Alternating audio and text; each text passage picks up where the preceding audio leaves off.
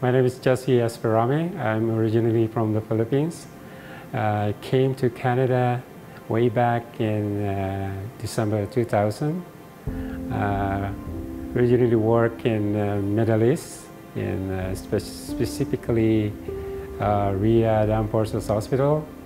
I stayed there for about almost nine or eight years. Uh, I used the same job, but uh, I, I, was here. I'm a biomedical engineer, technologist, same thing, uh, at those same hospital that I worked with. Uh, I'm presently working at the South Health campus as a biomedical technologist. Uh, it's under the Alberta Health Services. Well, I heard that so much about Canada, right?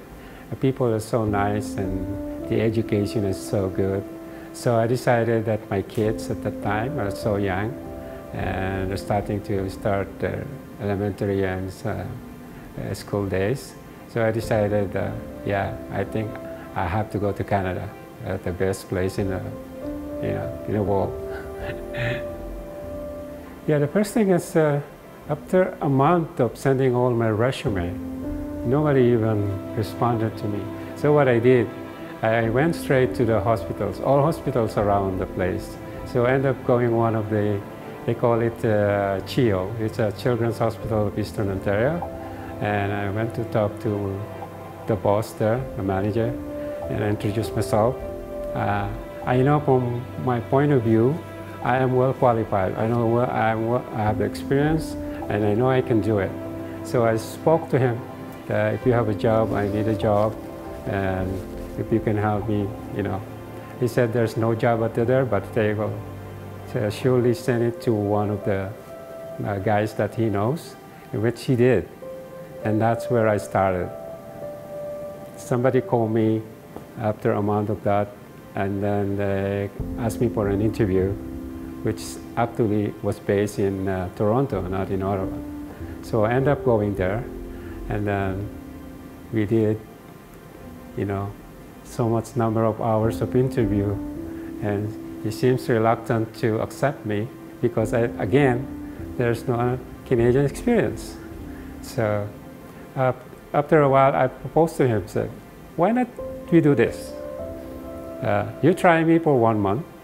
If you don't like me, then you can fire me. So I said, and he said to me, oh, that's a good idea. You know what? I, I have a plan. We will send you to one of these places and we will try you. And that's what happened.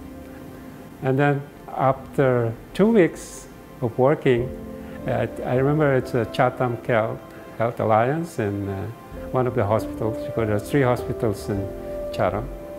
And he told me at the time that I got a job. I said, what? After two weeks, I got a job. I said, you really want a job? Yes, of course. I do my job the best of my ability to show them that I'm good, which they really appreciate.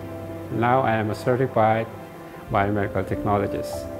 And I was told that in Alberta, I'm the only three of the certified biomedical technologists here in the province of Alberta, which is really, that's what they told me, so that's really very good. If I'm gonna give you advice for the newcomers, new immigrants, number one, think positive. You always be positive. And also, do a networking. By doing this, you can get so many uh, information about the jobs. And that, that's the way to do it. You have to network with everyone. Time will come to you.